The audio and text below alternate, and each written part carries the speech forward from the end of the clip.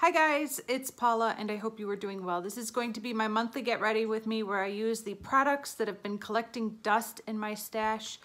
I do this in collaboration with my good friend Verity. She is Red Dirt and Stardust over on her channel. I will leave it linked down below so that you guys can see what her get ready with me looks like.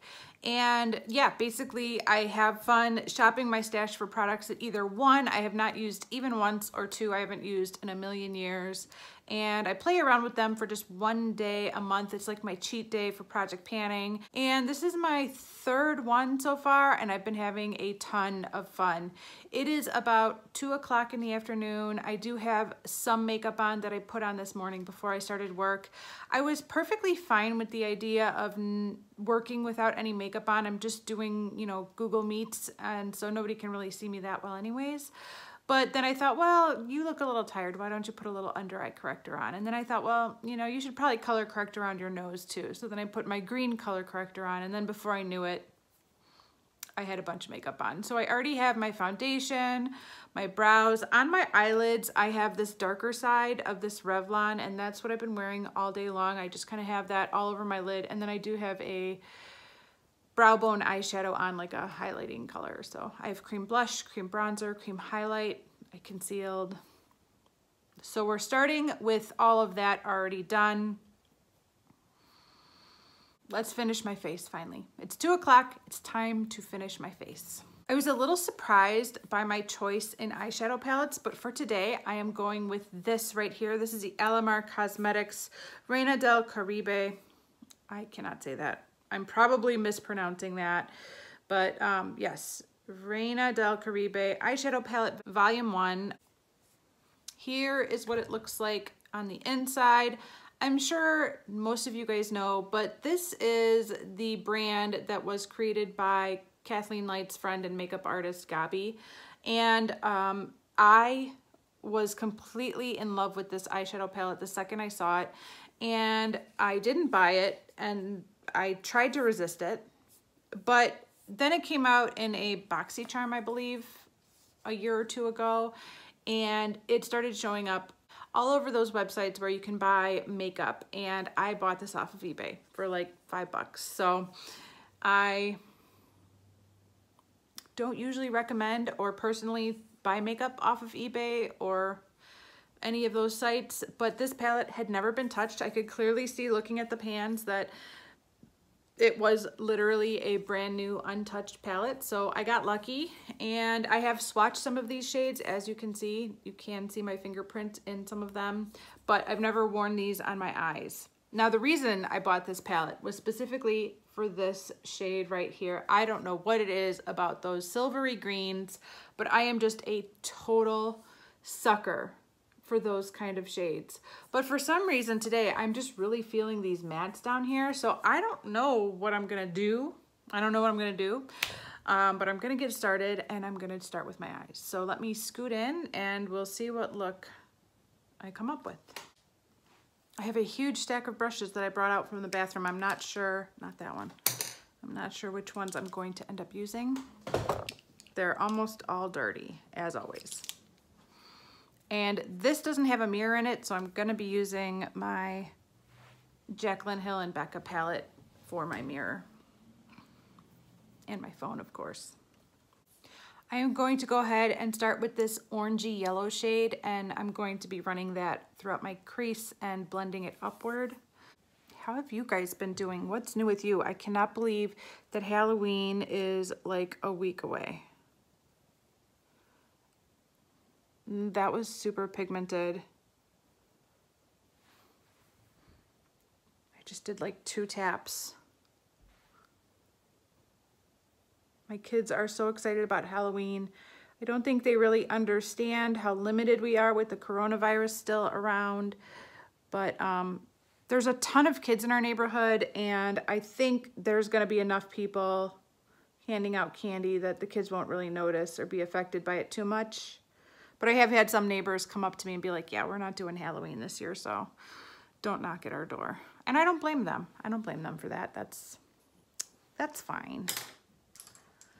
Ron is going to be a SWAT team member and Hazel is going to be Wonder Woman. I just ordered long johns from Amazon for both of them because I'm, I'm worried that they're going to freeze their butts off in their costumes. I'm taking that same shade and I'm running it on my lower lash line.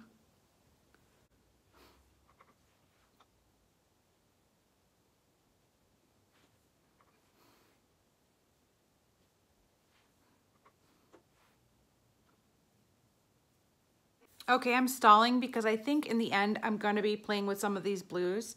So before I attack the blues, I'm going to go in with the orange and throw that in my crease as well. So how many of you speak more than one language? I um, really, I only speak one language, but I did take four years of German class in high school, which in hindsight, was probably not a good idea. I mean, it got me a good trip to Germany and I had a lot of fun, but it's not the most practical language to know in 2020. I would argue that outside of speaking English, Spanish would be probably the most practical second language to know. And so about a month ago, a little, maybe two months ago, Ron, my son, the seven-year-old, started expressing some interest in learning a second language. And he didn't have any strong thoughts. Oh, look at that, that's gorgeous. He didn't have any strong thoughts about what language. So I said to him, you know, you should probably learn Spanish. It's gonna take you the farthest, um, in the US at least. And so he's like, all right. So we downloaded the Duolingo app. Have you guys ever downloaded the Duolingo app on your phones? And we've been doing Duolingo for like 10 minutes a day. And I am seriously impressed not only with the app itself, but with my son and how quickly he's picking up what the app is teaching. He's really doing good. And so I try to sit with him and help him when he gets stuck and hopefully I'm learning Spanish too. I don't know if I'm actually ever going to learn Spanish. I kind of feel like there's some mental block with me that makes it impossible for me to learn a second language, but you know? We'll see. We'll see what happens.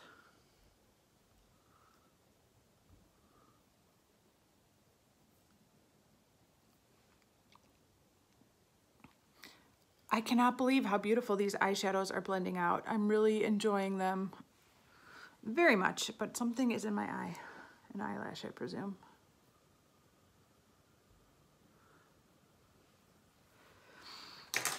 So in addition to his homework, he does about 10 minutes of Duolingo a day and he's really working hard at it. He's really stayed motivated. Every once in a while, I'll be like, hey buddy, it's Duolingo time. And he's like, why do I have to do Duolingo? And I'm like, cause you wanna learn Spanish. And then he's like, right, yeah, okay, let's do Duolingo. And then he changes his attitude really quickly because he really does wanna learn it. So I think it's really cool. Okay, let's deal with these greens.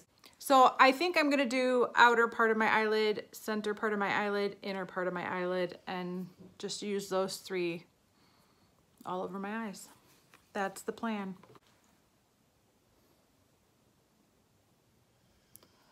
Oh, this kind of color is just my jam. Oh, I love it.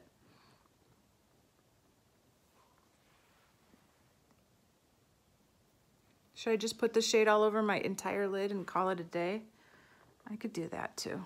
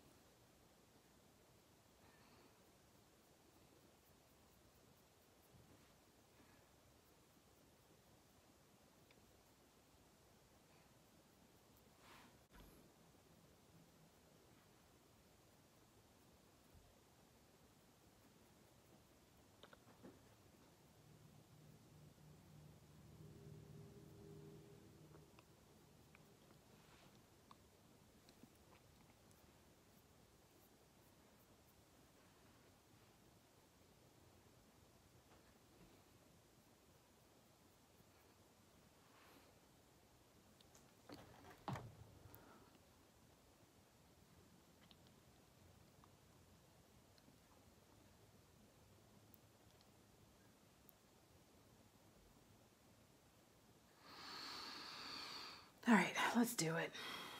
It's what I came here for. Let's do it.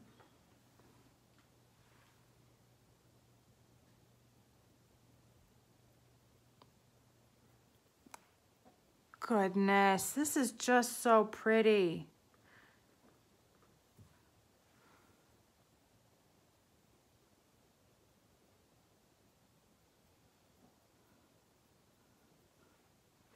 So what I am wondering is, has anybody actually become fluent learning a language through an app like Duolingo? Like they keep popping up advertisements, like little pop-ups saying like 30 hours on Duolingo is equivalent to one semester at a college or a one semester course in a language. And um, I've had one semester of a course of language and it did not make me fluent in that language at all. It was a very basic beginner's course. So how much time would I have to spend on Duolingo to eventually become fluent in another language that I basically had no experience with prior to using that app? I'm just wondering. I'm wondering if I spend enough time on this app, if I could eventually become a fluent speaker in Spanish. Or if Ron can, more importantly, because he's the one that started all of this. Or is it just, eventually, do you just have to be immersed in the language to pick it up? I don't know. What do you guys think? Let me know.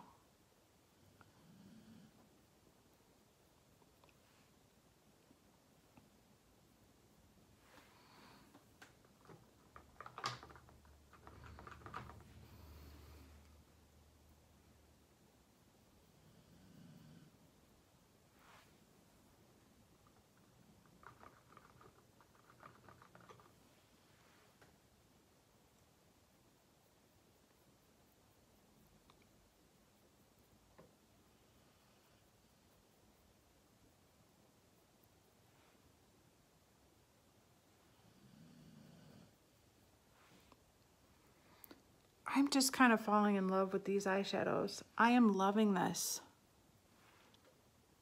And I kind of feel like I could wear this look every day.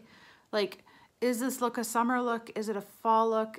Mm, it's probably not winter or spring, but I think this look would work great for summer or fall. I don't know. It is so pretty.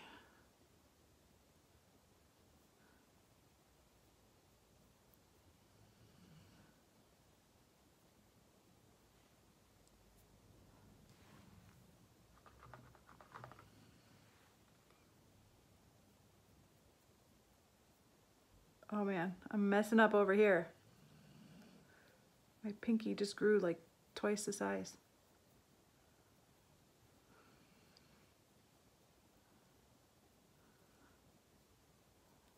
Now I gotta mess up on this side to make it even.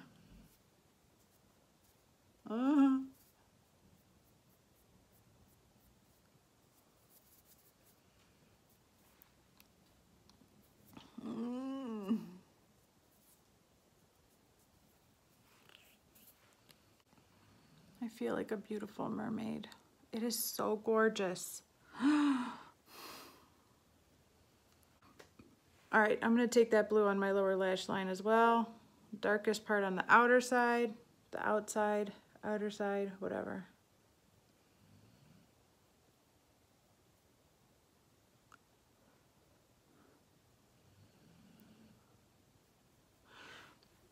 Middle shade in the middle.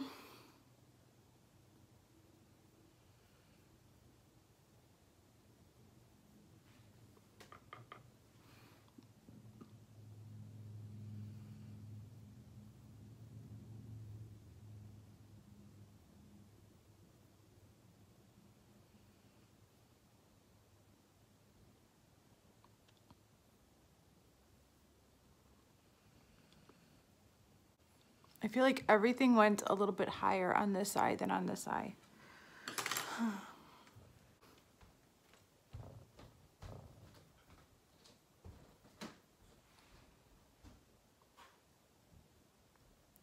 So yeah, Ron will literally walk around the house saying, Juan come manzanas.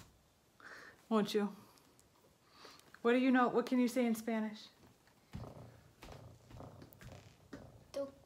Don't call me manzanas. What else? it can say pasaporte. Pasaporte. Means passport. Very good.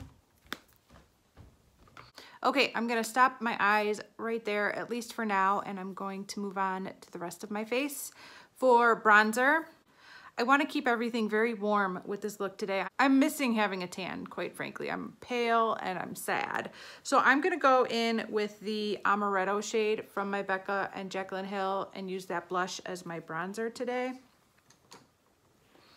Like I said, I do have cream bronzer on already from this morning. So, I mean, I look a little tan, just not as tan as I was. And I miss it.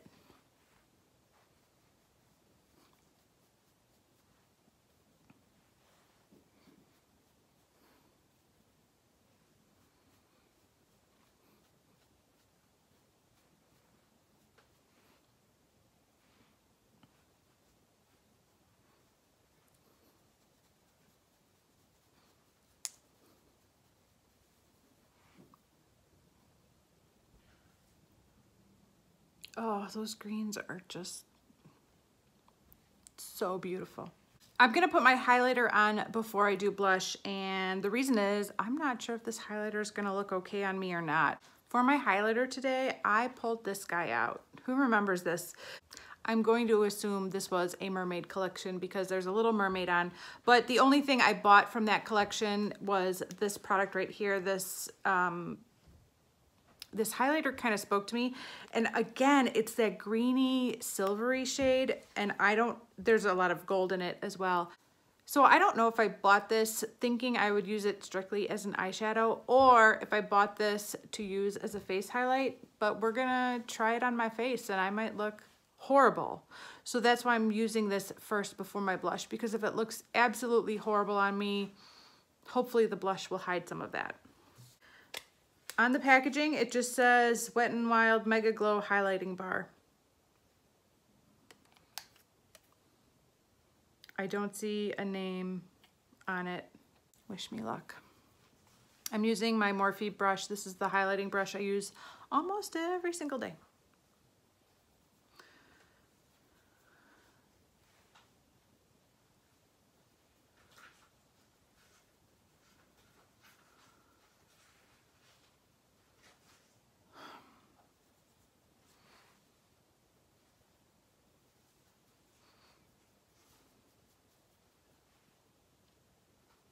Doesn't look hideous. It just looks really gold. It's kind of sitting on top of my skin. So I'm glad I'm putting this on first. That's That was the right call. It's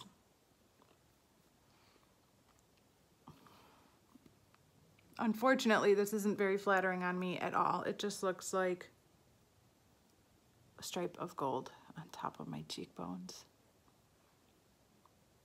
Okay, well, I'm not gonna highlight my nose or my cupid's bow. Well, maybe I'll highlight, yeah, I'll do my cupid's bow.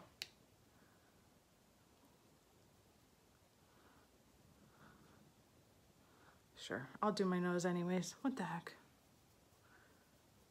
I mean,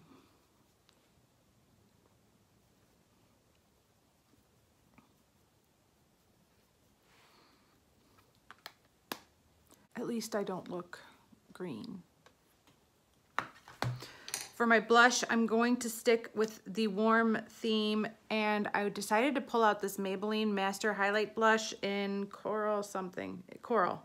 I don't remember ever using this before, but it does look used. So maybe I've used it and I just have no recollection of it whatsoever. It is ridiculous. I own an obscene amount of blushes and although I've made some progress with project panning, I definitely have a couple lifetimes worth of blush. So this looks like a pretty orangey shade. I do have a hot pink cream blush on that I put on this morning. So hopefully the two will play nicely together and it'll work out.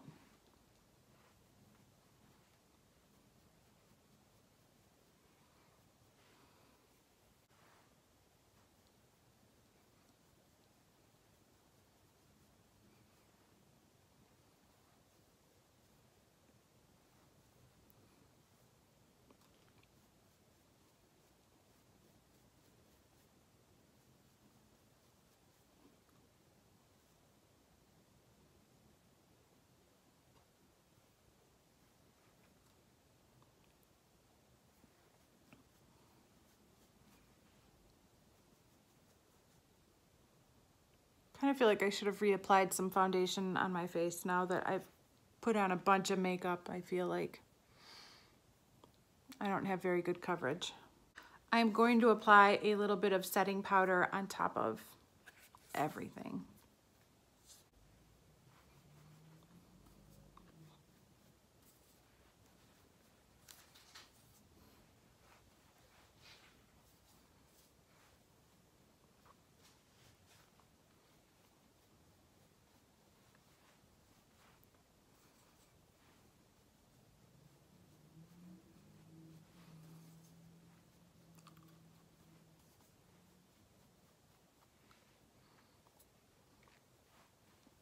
Okay, I'm going to throw on some liner and some mascara and I will be right back. Good gravy. These eyeshadows are even more stunning in my bathroom light than they are right here. I've been in there for like 20 minutes staring at myself because this eyeshadow is amazing. I just kept going like this in the bathroom for like 20 minutes. All right, all I have left to do is lip products. I pulled a bunch. What did I pull? I have Dreamy from the Kathleen Lights and ColourPop collaboration, and I don't think I've used this even once, which is a crime. I have this old Maybelline nude in the Color Elixir line. I think it. I think these were called the Color Elixir. Yeah, the Elixir. This is just called Nude Illusion. And then I have two more nudes. These are both L'Oreal Infallibles. This is a match version in the shade Peach Pit, and this one's, I don't know what the finish is on this one, but it's in the shade Spicy Blush. I don't know. I think I'm gonna go with Dreamy.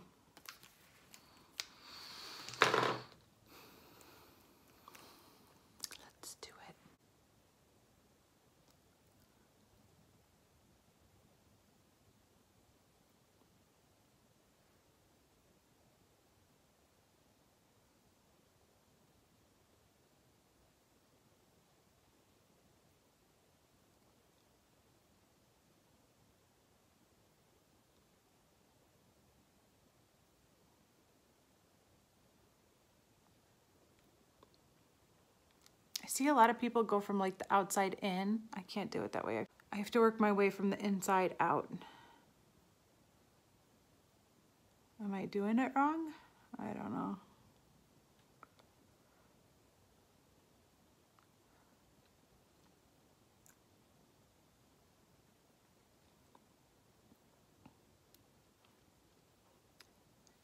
My goodness, that is a beautiful shade. It's really orangey a little bit orangier than I was expecting it to be, but it kind of works with this look. All right, and this is the finished look. I absolutely love it. I am so glad I took one day out of project panning to shop my stash for some other items in my makeup collection that have been largely untouched for way too long. This was so much fun. What do you think? I really like this look. These are my kind of colors. I know I've been doing a lot of like blue looks lately and that's really not me. I don't tend to go for blue, but if I was to wear a bluish look, it would look like this because I think this is the prettiest blue ever. I am so impressed by the performance of this palette. I've really enjoyed it. Um, this is the look I see when I look at this palette, but I do think there's quite a bit of variety you can get out of this palette. It's not just a one look palette. I do think you could do a lot more with it than what I did. But when I looked at this palette, and for this being my first time using it, I kind of felt like I had to do this look because this is the look I see when I look at this palette overall. But I could see just using like this all over the lid and this on the inner corner or, you know, just these two or just the brown and the green. I do see a lot more options in this palette than just this look, but I had to do this look for my first look. Out of all the products I used today, the only one I was a little bit disappointed with is the highlighter. I don't think this is the most flattering highlighter I've ever worn.